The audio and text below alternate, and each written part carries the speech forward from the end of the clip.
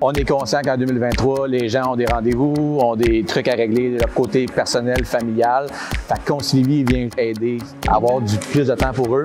On offre également la télémédecine au bureau pour justement limiter le temps d'attente dans les hôpitaux, dans les cliniques, aider les gens à maximiser leur temps, puis avoir au bout du compte euh, les mêmes services que tout le monde, mais d'une façon plus rapide.